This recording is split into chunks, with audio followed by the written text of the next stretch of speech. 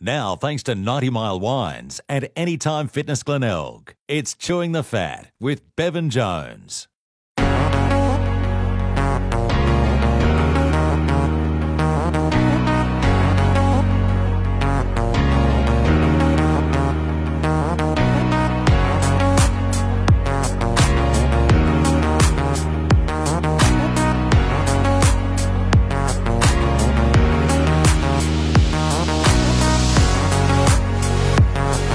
Well, g'day and welcome to another edition of Chewing the Fat. Bevo here today down at Helix Player Management, and we're joined by a star of the future in the sport of weightlifting. We could well be seeing her at the Tokyo Olympics next year. But that's a 20 year, 21 year old from Sydney, Kiana Elliott. Great to have you on Chewing the Fat. Thank you so much for having me. Um, talk to us about your journey so far. I mean, you grew up in Sydney, you've just recently moved to Adelaide. Um, how, how's it all happened, and uh, where to from here? Yeah, so I grew up doing gymnastics actually, um, and then wanted to pursue that. Someone when I was about five said, "Hey, you might be able to make it to the Olympics." Um, and that sort of stuck in my head for a long time. Um, did elite gymnastics from the age of 10 and then didn't really work out. I stopped at 14 um, and then had a little foray for about 18 months. I was trying to figure out my identity away from sport because I'd really, really wanted to do gymnastics to, to a high level. Struggled a little bit and then actually stumbled into weightlifting. Um, stumbled to find my coach, started training with him, um, and then it all in weightlifting happened really, really, really quickly. Um, and then what it culminated in more recently was that my coach decided, um, well, basically it, it, happened that we could no longer really operate in Sydney. My coach went, nah, I'm done here, I'm leaving, I'm going to Adelaide. And I was like, well, I'm going to try and make it to Tokyo, I better leave. not much for me in Sydney. And I sort of, I sort of went, well, well I've not really got much to lose. Um, why not jump ship? It's only another state. Um, head down and, and see what I can make of this. And uh, how are you finding your, your, time so far in Adelaide? You've only been here for the six weeks. Obviously, it's a, a lot quieter than Sydney, but yeah, yeah. No, I've been here now since so we moved down in March. So it's it's been a little bit longer than six weeks, um, but absolutely loving it down here. It took a while to get settled, but it the place is lovely, just so close to the beach, so close to the hills. I've just absolutely loved exploring everywhere. And have you had a chance to have a pie floater or a Farmers Union iced coffee yet? Or? I have had Farmers Union iced coffee. You know, I did an interview with um, um, with Ben Hook from the Advertiser yeah. very early on, and he goes, right, gives me a quiz. He goes, I've got none of the answers. He goes, what's pie floater? And I'm like um, and he was losing his um, he was just absolutely losing it. We did this with um, one of the coaches at SASI, and he was losing it, and I had no idea what was going on. The only question I could answer at that stage was that you take goes. What's the road that connects the CBD to Glenelg? And that was the only question I could answer. It's ridiculous absolutely ridiculous. so you haven't had a pie floater yet either? I have not. No? Oh, they, honestly, they look terrible, but yeah. they taste amazing. I really, recommend really. it. So get involved in one of those. So yes, and now recently you just got back from the Pacific Games. How'd yeah, that go? Yeah. So the Pacific Games was awesome, and we were in Samoa. It's a multi-sport event. For a lot of the Pacific, it's it's it's their games. It's a big multi-sport event. We've got I think there were about five thousand athletes from all the Pacific Islands, all different sports. Um, Australia had been invited into the last Pacific Games in 2015, and this was the second one we were invited into. So we weren't in every single sport. They sort of selected and said, "Hey, come do weightlifting, come do I think rugby sevens, a few other sports," um, and it's just it's just fun to get in a games experience. Um, and so what was it? It also doubled as our Oceania Championships, and it also tripled as our Commonwealth Championships. So they just sort of lumped it. The organisers lumped it into one. We had one day of competition, and the results counted for each. Um, the important one for me was the Oceania Champs, just in the way that Olympic qualification works. It held the most weight.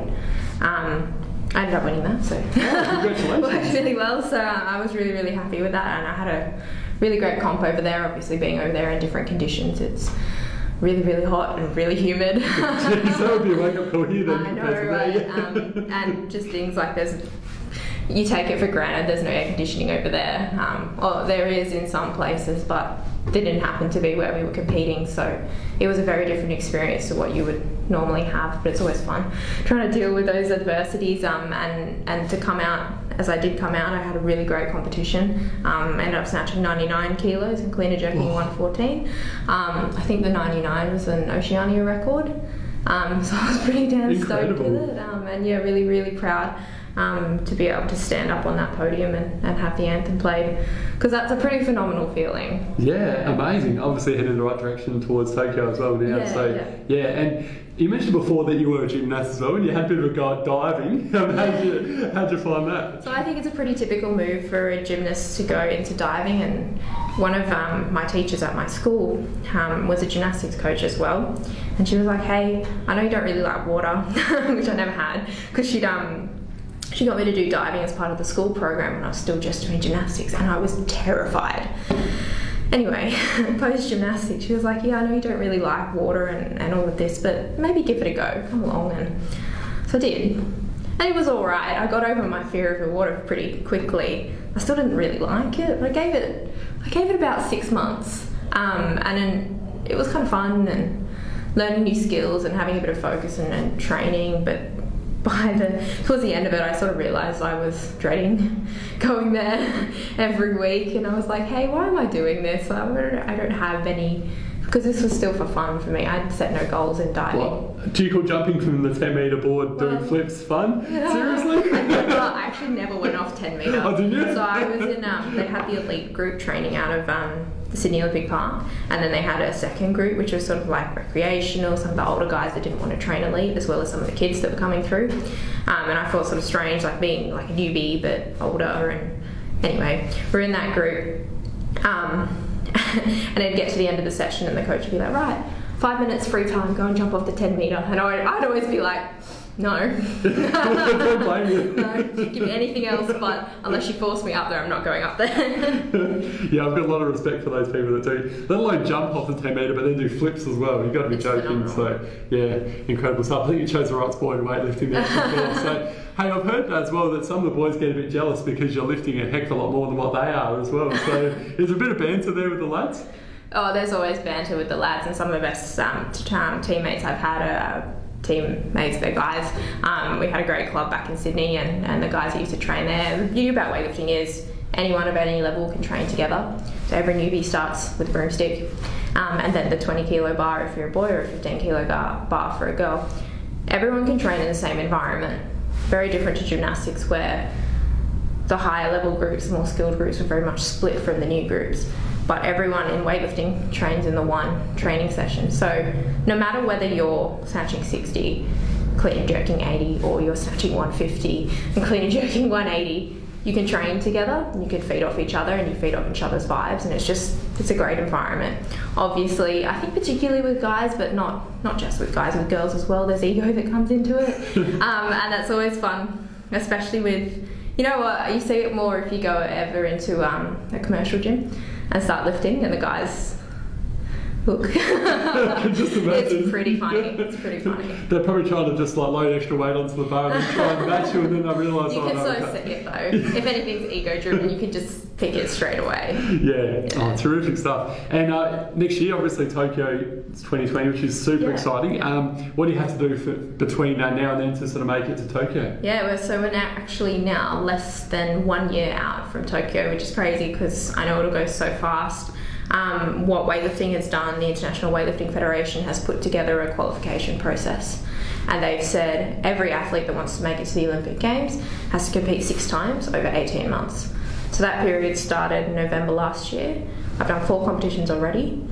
Um, the way you secure a spot to Tokyo is you either end up in the top eight absolute world ranking of your weight category or you top your continent. So that's where I'm aiming for, topping the Oceania region, which is the continent in um, in sports qualification, how that all works. Um, so if I can hang on to my current top ranking in Oceania, that's my ticket to the games. Very exciting. Yeah, yeah. yeah. I wish you all the best. So, Thank you so yeah. much. And, uh, and going forward, do you think you'll sort of stay in Adelaide or eventually move back to Oh, Sydney, or gosh. hard to say at this stage? I don't know. I don't know. Obviously, my family's back in Sydney, but I do really love Adelaide. I love that it's a little bit smaller. It's not quite as hectic as Sydney. Um, I've got to think career-wise what I want to do, and at the moment, studies are on hold. So I don't know. I really don't know yet. I don't feel particularly tied to either Sydney or Adelaide just yet. So we'll Well, you're only young, so plenty of time to just play it Yeah, by ear. yeah, so, yeah. and- and going forward, um, is there sort of money in weightlifting, and like, sort of, how do you Do you have sponsors and things like that as well, or? No, in the past I've worked with um, a few companies, but but never really something that supports you financially. Um, I haven't really experienced that. We're very lucky to receive funding from the Australian Sports Commission, the Australian and the Commonwealth Games Association, and that comes through the National Federation to support the athletes. Um, and we're also very lucky that, for the most part, our international trips to international competitions are funded. We don't have to fork out for those because um, I know a lot of like New Zealand, for example, their athletes have got to fork out if they want to go to World Championships. So obviously, very very lucky to have that. But on the flip side, on the international stage, I'm competing against girls who compete and train full time. Um, and so it's a bit of a different ball game, whereas I'm working and balancing everything um, and trying to do the best I can whilst making ends meet, kind of thing. So yeah, but it's a good challenge. I don't know. I honestly don't know how I would do training full time. I like having that balance and being really, really busy and just juggling everything. Yeah. um, I'm just going to make sure my priorities in the right place, and I'm just putting, making sure I'm putting enough energy into weightlifting. Well, let's hope you're uh, winning gold next year in Tokyo, and we're, we're celebrating for you. Um, before I let you go, we're going to do something today. Uh, it's called 90 Seconds Thanks to 90 Miles. So 90 Mile Wines is our sponsor up in Galway there. Um, go and see them. Chris and the guys, um, they'll look after you with some great wine and great food. Um, so we're going to firstly start with your favourite food. Um, chocolate. I'm a sucker for chocolate. uh, favourite movie? Oh, kids' movies, Disney, Up. Yeah. Favourite drink? Um, coffee. Good choice. I think that's everyone's favourite. Pretty standard, hey. favourite holiday destination? Oh. Not a particular destination, but just jumping in the car and, and going bush. Oh, I like any particular part of Australia or anywhere else? Not really. I just just like going and almost not knowing where you're going. Good choice. Yeah. I think you should check out the Adelaide Hills then or the Barossa. Yeah. So yeah. Yeah, yeah, beautiful places out there. Um, the uh, funniest coach you've had so far and why? um, it has to be my current coach. We took um, a few years ago when it was like October, November, and we were like, right, we're going to make a Christmas book of, his name's Marty. We called it Martyisms. So for the two months before Christmas, we'd sit down in training, and everything that was funny that he said, we wrote down.